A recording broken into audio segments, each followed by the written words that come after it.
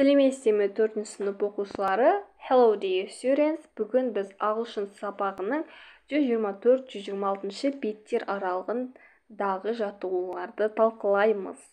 Okay let's start. First is reading robots yeah?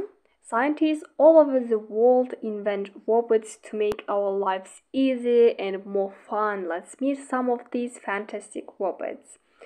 Мем- яғни әлемдегі әртүрлі ә, елдердің ғалымдары біздің өмірімізді оңайырақ және де қызығырақ қылу үшін роботтар ойлап шығарады дейді.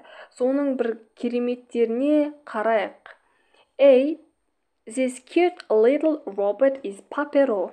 It's a small robot made of plastic. It hasn't got any arms or legs but it it's got wheels. Papero understands what you say, talks, and moves. It can control some of the things in your house, like the TV and the washing machine. It can even serve the net. Окей, яғни мына жерде қызыл паперо деген сүйкімді кішкентай робот дейді ә, бұл кішкентай робот әм, ол пластиктан жасалған балалар оның қолы аяғы жоқ бірақ та дөңгелектері бар. Паперо сіздің не айтқаныңызды түсінеді өзі сөйлейді және де қозғалады дейді. Тіпті үйдегі кейбір заттарды ол ә, кейбір заттарға контроль жасай алады. Мысалға телевизор және де кір жуғыш машина. Тіпті интернет қарай алады екен интернеттен іздей алады. And b this robot's name is asimo. Asimo is made of plastic and metal.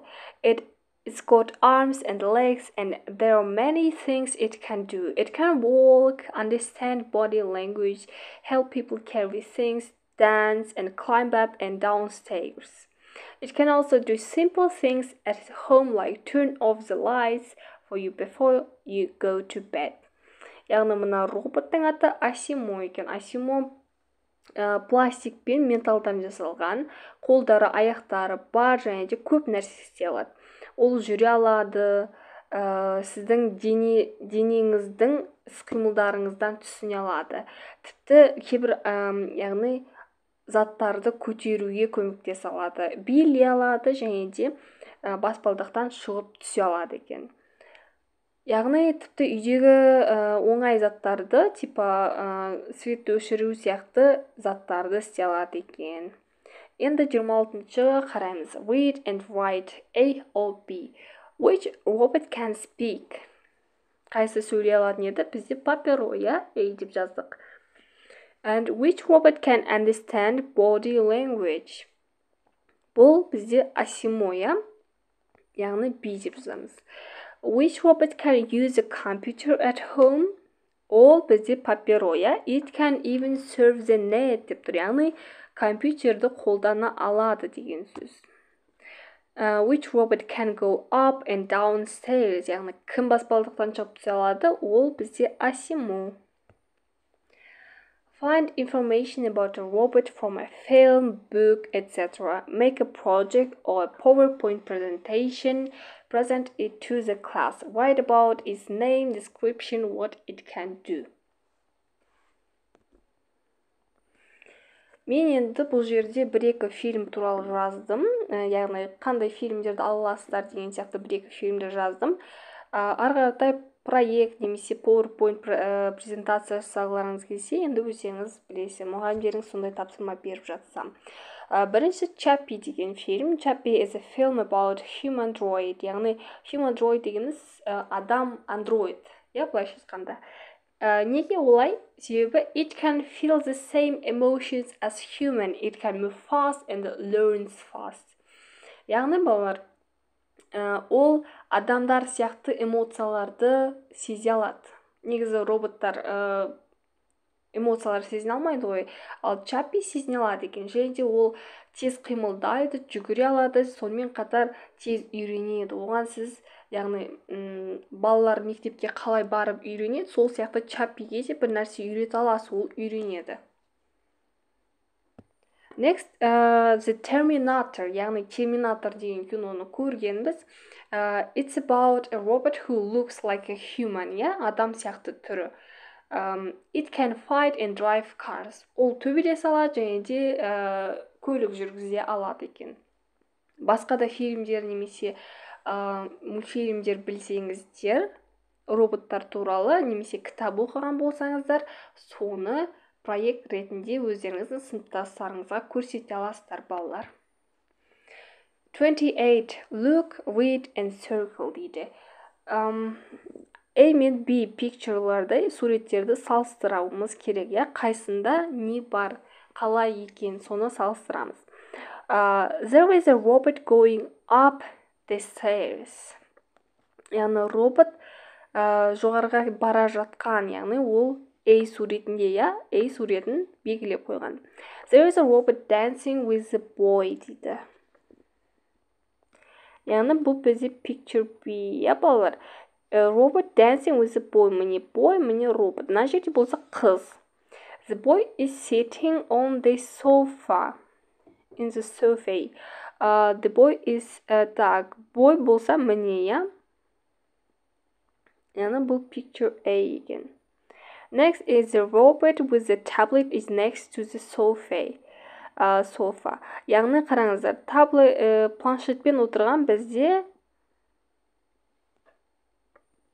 a суретінде иә балалар next to деп тұр яғни жанында деп тұр. Мына жерде артында тұр тем более қыздың артында. Uh, the girl with the remote control is in front of the robot with the tablet. Яғни бұл бізде picture b. Міне қыз және де артында робот тұр. Think of your own robot talk with a friend дейді. What's your robot's name what is it made of what does it look like what can it do дейді осындай сұрақтарды қойып өздеріңіздің роботтарыңыз туралы достарыңызға айтасыздар мен мысалға what's your robot's name Pele деп алдым. What is it made of? It's made of plastic and metal. What does it look like? It's black and it has long, strong legs. яғни қара түсті аяқтары ұзын және мықты what can it do it can play football it can run and do exercises яғни ол футбол ойнай алады жүгіре алады және де жаттығулар орындай алады ә, демек жүгіре алады дегендер олар жаңағы баспалдаққа шығып түсе алады деген сияқты көптеген заттарды істей алатын робот пеле деп алған себебім ә, футболисттің атына байланысты иә футбол ойнай алады деп алдым ғой. Ә, сіздер де өздеріңіз басқандай роботтарды басқандай ат басқандай ә, іс әрекет жасай алатын қылып ойлап тапсаңыздар болады ойлап көрсеңіздер болады. And 30 It's over to you. Сіздерге байланысты балалар. Бұл design your own robot presented to the class. Яғни ә, мен тек қана мысал ретінде көрсетіп жатырмын ғой. Соны енді сіздер өздеріңіз басқандай қылып өзгерткен кезде сол роботыңызды өздеріңіз енді қиялдарыңыздағыдай қылып саласыздар. Ә, келесі бізде read and complete listen and check дейді. Бірінші оқып біз ә, мына жерде толықтыруымыз керек бос орындарды. The robotics challenge in kazakhstan is another fun event for young pupils who like designing robots. Яғни робототехниканың ә, жарысы бар екен бізде қазақстанда.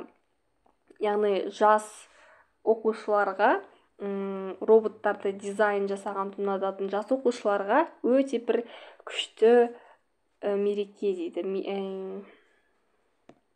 іс шара Pupils who want to enter this competition have to build robots and control them with a tablet. Or a phone. яғни мына жердегі сөздерді аламыз балалар. All a phone яғни немесе планшетпен немесе телефонмен басқару керек оны. One of the funniest competitions in the Ambod football competition. Яғни сол жарыстардың ішінде роботтардың жарыстарының ішінде футболдың жарысы бар екен.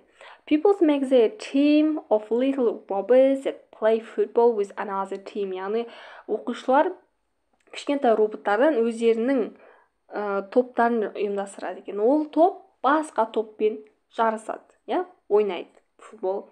The game takes five minutes and the team with the most goals is the winner. яғни 5 минутқа созылады ойын және де кім көп гол салады солар жеңеді can you imagine that what a great way for people for people to have fun and learn at the same time. Яғни шынымен де иә балалар? бір жағынан көңіл көтересіздер бір жағынан ә, үйреніп қайтасыздар көп нәрсе роботтар туралы. And the next would you like to see robots that can dance sing or even play sports? Яғни сіз билей алатын өлең айта алатын ән айта алатын не болмаса тіпті дейді. Спорт ойнай алатын спорт ә, спортпен айналыса алатын роботтар көргіңіз келе ме? Then you have to visit the robotics challenge in england. Яғни англиядағы роботтардың жарысын көруіңіз керек. Сол жерді ә, бару сол жерге баруыңыз керек. People from all over the country design their robots with the teacher's help. Яғни all over the country осы англияның ішіндегі барлық жерлерден қалалар бар елді мекендер бар барлық жер иә? Сол жердегі оқушылар дейді өздерінің мұғалімдерінің көмегі арқылы роботтар жасайды. But they must be careful not to copy ideas from other people's. Бірақ дегенмен олар басқалардың басқа оқушылардың идеяларын көшіру көшірмеу үшін абай болу керек. Robot dancing and robot stars are popular competitions here. Ә, яғни олардың билегендері сонымен қатар ән айтқандары robot stars иә сол өте танымал екен солар. People have robots sing and dance and the best ones win a prize. Яғни қайсысы күшті істесе сол сыйлық ұтады дейді. They can also design scary robots that look like dinosaurs. The scariest one wins the prize. Let's see who wins this. Year яғни тіпті қорқынышты роботтар динозаврларға ұқсайтын қорқынышты роботтардың да жарысы бар екен. Ең қорқыныштысы сыйлық ұтып алады екен. Сонымен біздің бүгінгі сабақ аяқталды. Балалар сіздер біздің арнадан үшінші төртінші бесінші сынып математикасы мен ағылшын жауаптарын таба аласыздар. Каналға подписаться батырмасын. Басып тіркеліп кетсеңіздер болады.